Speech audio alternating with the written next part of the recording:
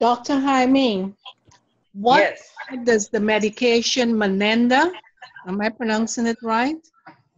Menenda has to do with, with Alzheimer's patients. Is, does it, it's, is it like a sleeping tablet or something like that?